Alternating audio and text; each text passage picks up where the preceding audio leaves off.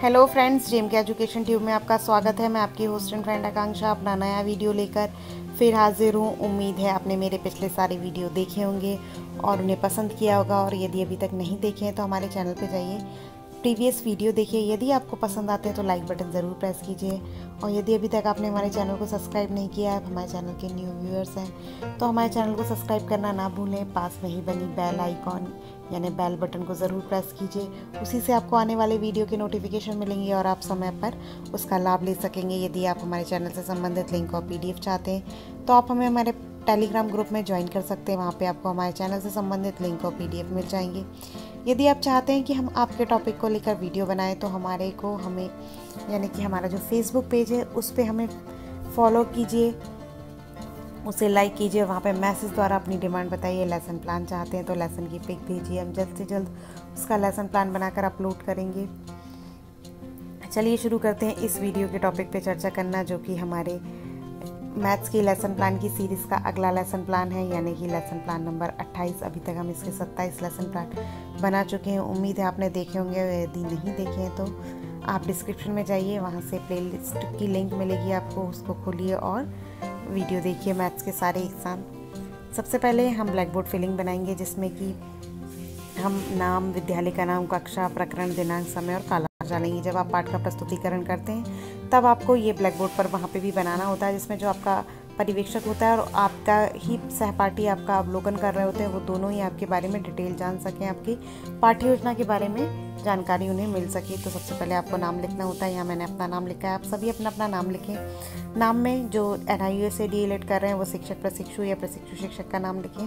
बाकी जो student D El Ed B Ed या बी टी सी या और भी कोई व्यावसायिक शिक्षा कोर्स कर रहे हैं तो वो यहाँ पे लिखेंगे छात्र अध्यापक या छात्र अध्यापिका का नाम। विद्यालय के नाम में एन आई एस वाली टीचर अपने स्कूल का नाम लिखेंगे। बाकी सारे D El Ed B Ed के जो भी स्टूडेंट हैं, उनको जो भी प्रैक्टिस टीचिंग के लिए सेंटर अलॉट किया जाएगा, उसका नाम लिखेंगे।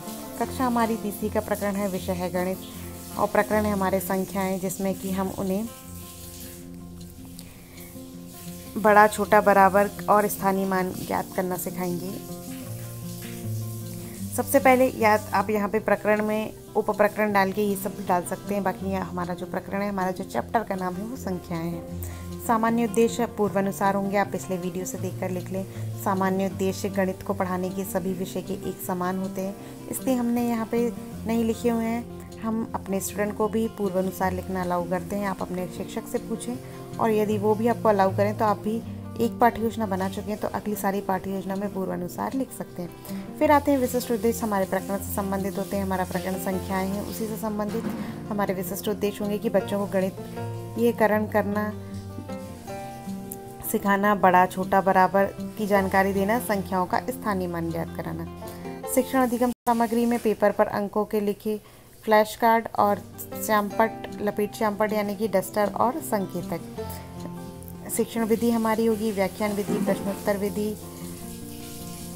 यहाँ पे हम संश्लेषण, विश्लेषण या आगमन निगमन विधि का भी इस्तेमाल कर सकते हैं तो वो भी आप लिख सकते हैं, जिसका भी आप करें। क्योंकि भले हम कोई भी पाठ्य योजना लिखें, आप जो भी विधि का इस्तेमाल करेंगे, या आपका खुद का टेक्निक होगा कि आप इसको कैसे एक्सप्लेन करते हैं। व्याख्या विधि का गणित में बहुत ही कम इस्तेमाल होता है। पूर्व ज्ञान बच्चे संख्याओं का ज्ञान, संख्याओं का छोटा, छोटे जोड़ गुणा घटाना भाग जानते हैं। प्रस्तावना हम कॉलम बनाएँगे। क्रमांक, शिक्षण सॉरी प्रशिक्षक, प्रशिक्षु व्यवहार और विद्यार्थी व्यवहार। इसमें हम उन्हें 222 का संख्या नाम लिखो तो वो सॉरी 522 का संख्या नाम लिखो तो लिख के बताएँगे शब्दों में। फिर 840 में सैकड़ों के स्थान पर क्या है? आठ। 860 में आठ का स्थानीय मान क्या है? 800 840 और 880 में से कौन सा बड़ा है तो समस्यात्मक ही उनको नहीं समझ में आ रहा है। क्योंकि यदि 500 800 पूछते तो वो बता भी देते क्योंकि सामान्य बोलचाल में वो जानते हैं, लेकिन इस तरीके में वो नहीं बता पाते। तो बच्चों से हम कहेंगे कि आज हम अलग अलग पाठ का अध्ययन करेंगे और संख्याएँ, यानी उसके अंतर्गत अगले पाठ का अध्ययन करेंगे जो कि संख्याएँ हैं। और उसके अंतर्गत हम बड़ा छोटा निकालना सीखेंगे। इस तरीके से आप किसी भी तरीके से उद्देश्य कथन बोल सकते हैं। उद्देश्य कथन आप रोज़ अलग तरीके से बोलें तो बच्चों को उसमें इंटरेस्ट भी आता है। एक ही तरीके से उद्देश्य कथन बोलेंगे तो उनको पता चल जाता है कि, अरे, शिक्षक तो अब यही वाला सेंटेंस बोलने वाले हैं। तो हर बार उद्देश्य कथन को रोचक ढंग से बोलने का प्रयास करें। फिर प्रस्तुतिकरण, जिसमें हम क्रमांक, शिक्षण बिंदु, शिक्षक, प्रशिक्षु, व्यवहार, विद्यार्थी व्यवहार, श्याम पटकार ये कॉलम बनाएँगे। इसमें पहला शिक्षण बिंदु हम बराबर या दो संख्याओं का की समानता के बारे में बताएँगे, जैसे 215 और 215 की तुलना करेंगे। इस तरीके से हम उन्हें बताएँगे कि पहले हम एक इकाई के अंक की तुलना करते हैं, फिर दहाई की और फिर सैकड़ा की तो सभी बराबर हैं मतलब संख्याएँ बराबर हैं। फिर हम बड़े और छोटे का ज्ञान बताएँगे उनको। ऐसे ही हम उन्हें तुलना करना सिखाएँगे कि इकाई का अंक बराबर है, फिर दहाई का भी बराबर है। और सैकड़ा में जो बड़ा अंक है, वो बड़ी संख्या है। इस तरीके से हम उन्हें एक्सप्लेन करेंगे ब्लैक बोर्ड वर्क करेंगे, विद्यार्थी क्या करेंगे, ध्यानपूर्वक समझेंगे और फिर कॉपी में लिखेंगे। इस तरीके से हम छोटा भी उनको इसी पैटर्न से समझाएँगे, फिर हम उनसे, उन्हें कुछ बौद्धात्मक प्रश्न करेंगे। एक बौद्धात्मक प्रश्न हम बड़ी संख्या से रिलेटेड पूछ लेंगे और एक छोटे से रिलेटेड पूछ लेंगे। हम उन्हें अच्छे से उनको एरो का मीनिंग भी बताएँगे कि ये बड़े के लिए इस्तेमाल किया जाता है और ये छोटे के लिए। फिर हम उसी से रिलेटेड पुनरावृत्ति प्रश्न करेंगे। यहाँ पे हमने तीन पुनरावृत्ति प्रश्न लिए हुए हैं बौद्धात्मक प्रश्न भी आपका पुनरावृत्ति प्रश्न में आप लिख सकते हैं। फिर कक्षा कार्य हम उन्हें कक्षा में कार्य करने के लिए देंगे कि रिक्त स्थान पर सही निशान लगाइए, यानी बड़े, छोटा, ये बराबर का। गृह कार्य, आप उन्हें घर में जो होमवर्क देते हैं, घर से घर के लाने के लिए।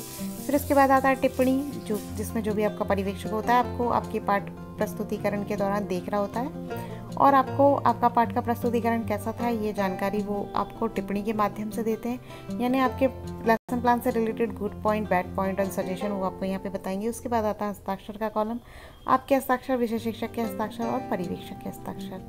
यहाँ पे हमारा पाठ्य योजना समाप्त होती है। यानी कि जो हमारी ये पाठ्य योजना थी, बड़ा, छोटा और बराबर के बारे में बच्चों को बताना, ये समाप्त होती है। आपको हमारी पाठ्य योजना कैसी लगी? अपने कमेंट द्वारा हमें ज़रूर बताएँ। अच्छा लगता है तो लाइक बटन ज़रूर प्रेस कीजिए। अपने दोस्तों से हमारे वीडियो शेयर करना ना भूलें और यदि सब्सक्राइब नहीं किया हमारे चैनल को तो सबसे पहले सब्सक्राइब करें। थैंक यू जय हिंद।